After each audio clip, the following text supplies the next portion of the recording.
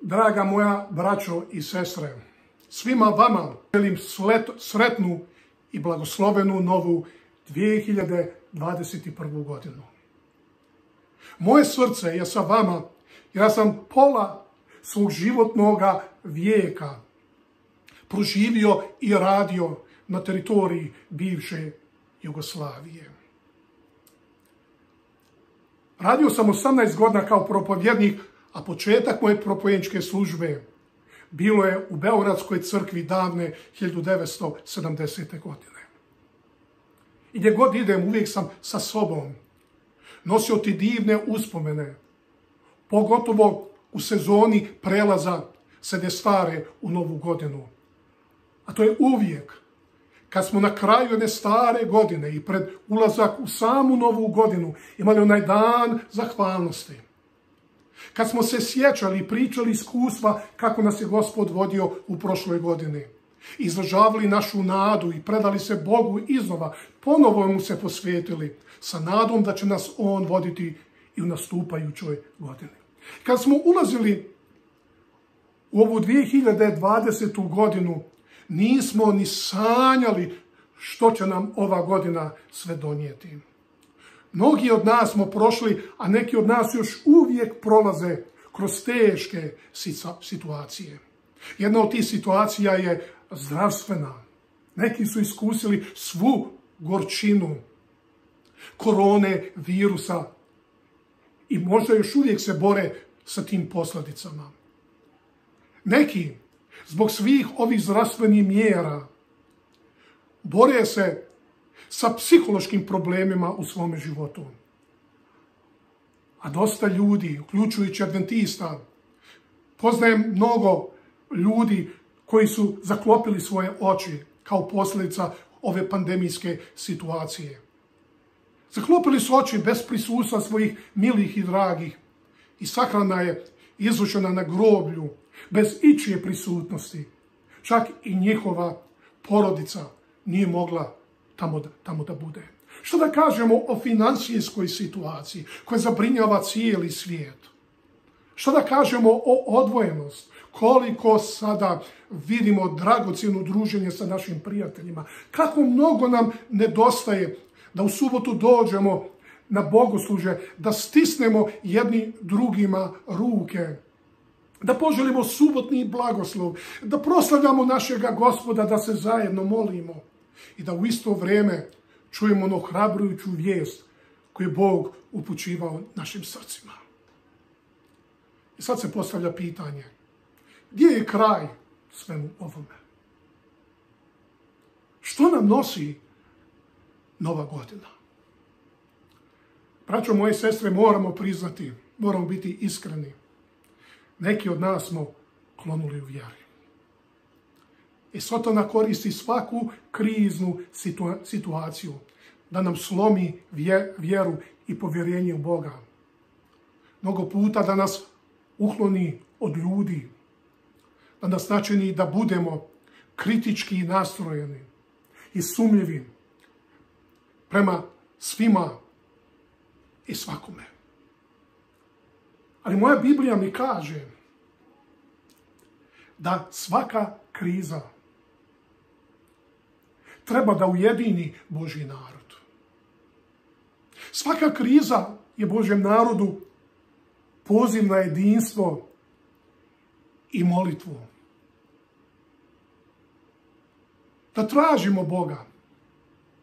Da se potpuno vratimo njemu i da ozbiljnije razmišljamo o, budućnosti. Vidite, kao posljednju stvar koju bih spomenuo, kriza je mogućnost za Božji narod da odnese evanđelje, tu radosnu vijest napačenom čovječanstvu koji je izgubio svaku nadu za ovaj život i za budućnost i povjerenje u ljudi.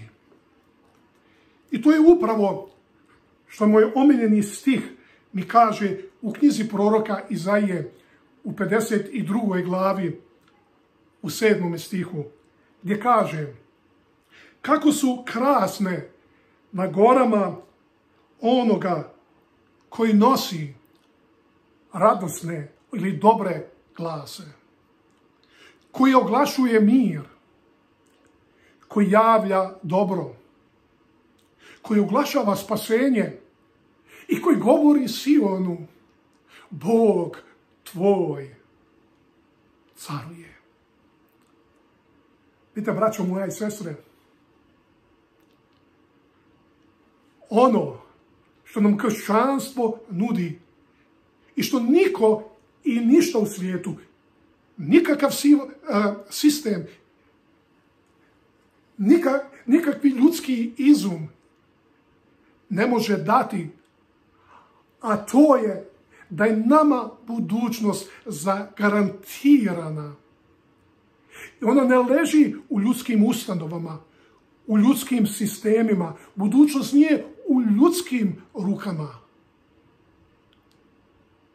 Nego je Bog još uvijek u kontroli. I nam kaže da srž te radosni vijesti je da Bog caruje. Obraću moja i sestre, zbog toga sam ja adventista. Riječ koja dolazi od latinske riječi advent, što znači dolazak. Da Bog caruje već sada, On je u kontroli svega ovoga što se događa na ovoj zemlji. A On će uskoro osnovati svoje carstvo. I njegovo carstvo, kako kaže Daniel tu, doveše sve ovo što je u svijetu svome kraju. A to carstvo će trajati kroz svu vječnost. Ja bih želio na kraju da vam uputim jedan apel koji dolazi iz onog poznatoga stiha koji toliko poznajemo.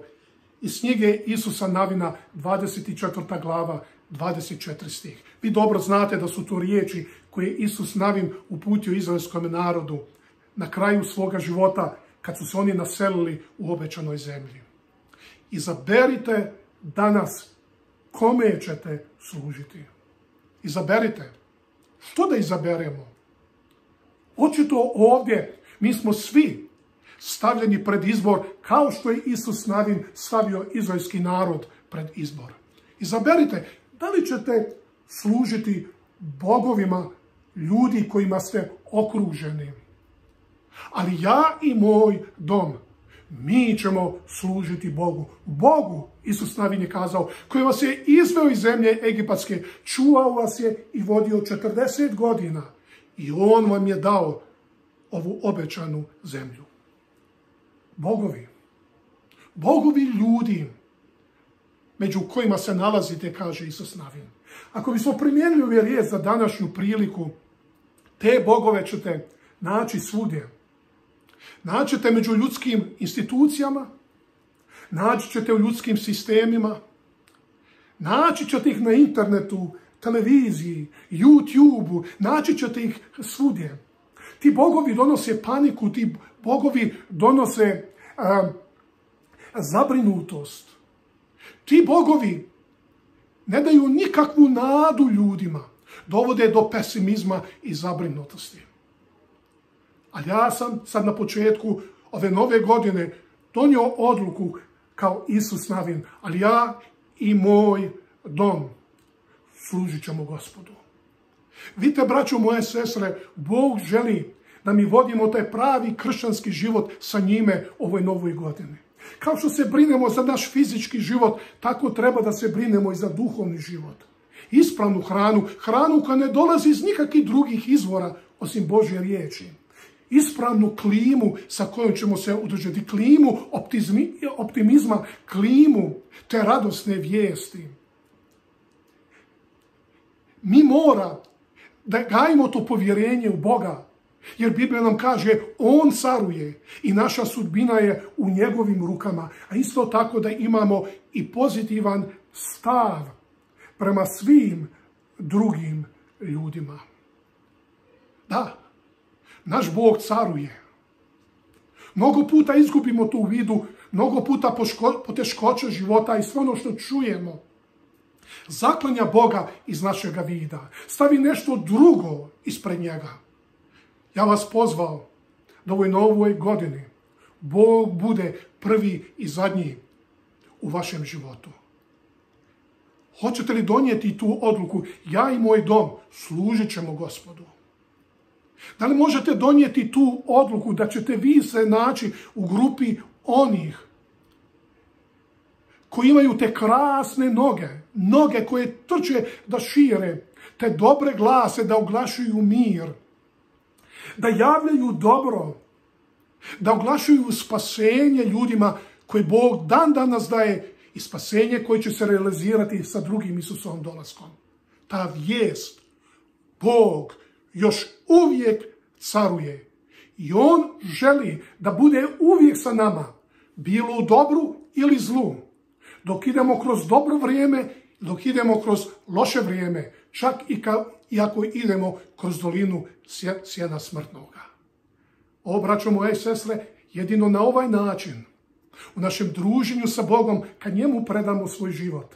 Ova nastupajuća godina bit će nam zajedno, zaista sretna i blagoslovena, jer onaj Bog koji je obećao, on će ispuniti obećanje da bude uvijek sa nama do onog trenutka kada spasitelj Kristus dođe i odvede nas na svoj kući. Da, i src vam želim sretnu novu godinu.